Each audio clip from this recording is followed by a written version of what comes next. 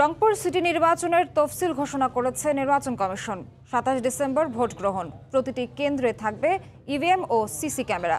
এই মুহূর্তে আগারগাঁও নির্বাচন ভবনে আছেন সহকর্মী রাশেদ লিমন। সবশেষ খবর জানতে সরাসরি যাচ্ছি তার কাছে।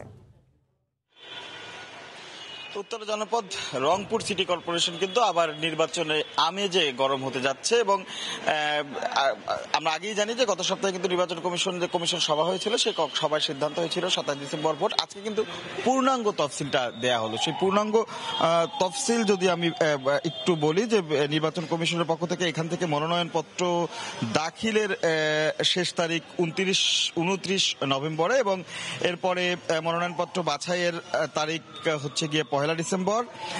আপিল মানে এই বাতিলের যে আপিল করার সুযোগ, সেটি থাকবে দুই থেকে চার, অর্থাৎ দুই, তিন, চার, এই তিন দিন আপিল করা যাবে এবং আপিল নিষ্পত্তির যে তারিখটি, সেটি হচ্ছে পাঁচ, ছয়, সাত, এই তিন দিন আপিল নিষ্পত্তির সময় থাকবে।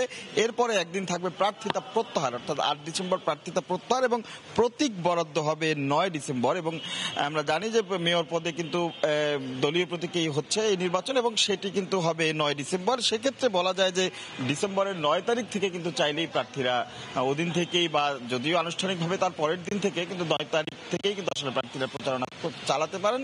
আর যদি একদম দালিলিক ভাবে বলা হয়, সেটি হলে দশ ডিসেম্বর থেকে কিন্তু প্রচার প্রচার প্রচারণার সুযোগ পাওয়া যাবে। সেক্ষেত্রে কিন্তু আসলে প্রার্থীরা বলা যায় প্রায় বিশ দিনের মতো বা বিশ দিনের মতোই সময় পাবেন তারা প্রচার প্রচারণা করার জন্য এই নির্বাচনে।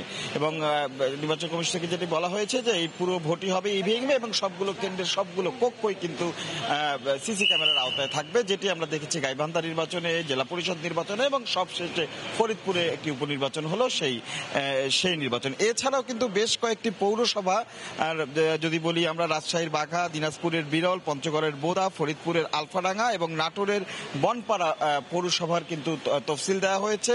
তফসিল দেওয়া হয়েছে আরও আহ, বেশ কয়েকটি বন্ধ হওয়া ইউনিয়ন পরিষদে। তো সবকিছু মিলে স্থানীয় সরকারের আরও কিছু বেশ কয়েকটি পর্যায়ের যে একই দিনে অর্থাৎ সাতাশ ডিসেম্বরেই কিন্তু ভোট অনুষ্ঠিত হবে। তো এই ছিল আমার কাছ থেকে নির্বাচন কমিশন থেকে দেওয়ার মতো সবশেষ তথ্য। এতক্ষণ সরাসরি যুক্ত ছিলাম আগারগাঁও থেকে।